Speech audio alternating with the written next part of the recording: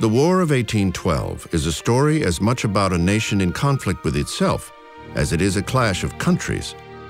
Early 19th century America is a loose association of scattered states, bordered by a vast wilderness to the west and miles of ocean to its east.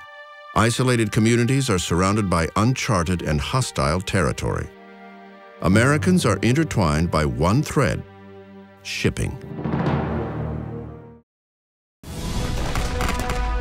On January 7, 1815, after weeks of holding off the British invaders, Andrew Jackson's ragtag army of 4,000 men lie in wait.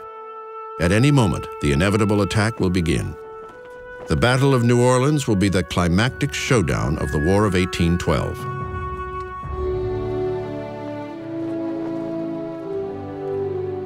As the evening of January 7th appears, the men behind Line Jackson know that an attack is imminent. They can hear the sounds directly in front of them, and yet their morale is extremely high because in their mind, they have beaten the British twice. And they feel themselves almost invincible, each man relying upon that piece of wall that he himself has constructed. And it is their morale, coupled with good luck, which will turn the tide of the battle. Just outside the city, thousands of reinforcements led by General Pakenham intend to overwhelm the Americans with sheer numbers and take advantage of a glaring weakness in their defense. Pakenham's plan is aggressive, but it's too complicated. He's got too many columns moving forward, and everything has got to be timed to perfection.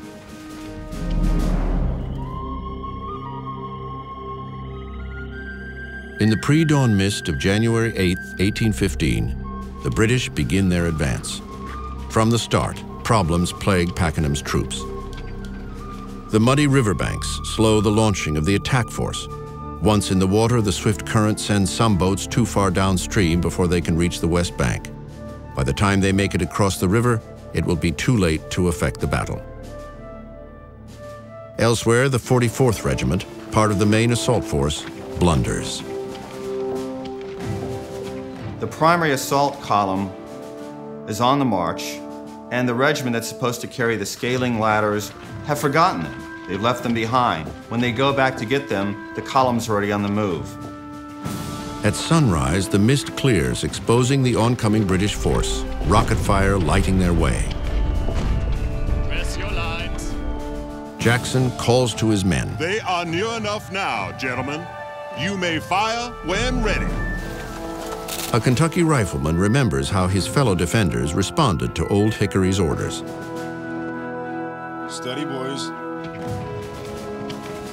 Hold your fire. Take aim!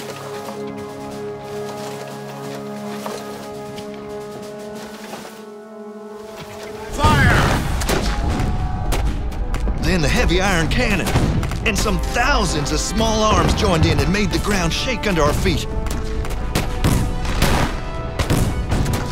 As soon as the firing began, Captain Patterson came running along. He shouted, Shoot low, boys! Shoot low! Rake 'em! The British Army has lost its commander. In just 20 minutes, the British High Command has been obliterated. The survivors realize they will never reach New Orleans and halt the attack. Improbably, Old Hickory's ragtag army has just trounced the world's best fighting force in little more than two hours.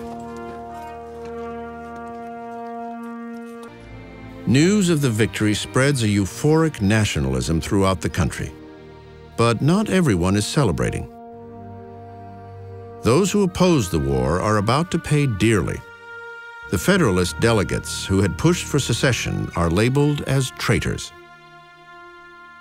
But for Andrew Jackson, the savior of New Orleans, his heroic exploits catapult him from the battlefield to the White House as the nation's seventh president in 1829. His election confirms the coming of age of a new America, forged by men who shaped the times through which they passed. The War of 1812 shouldn't be forgotten because that's a turning point in the development of American democracy, American government, the American sense of who we are. It was the one moment that we needed psychologically to prove that we had a right to exist as an independent and free nation. And we did it at that time.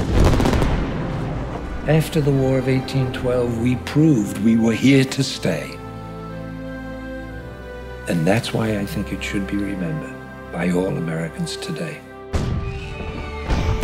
History remembers the War of 1812 as the Forgotten War. It is a story of courage, endurance, and a little bit of luck.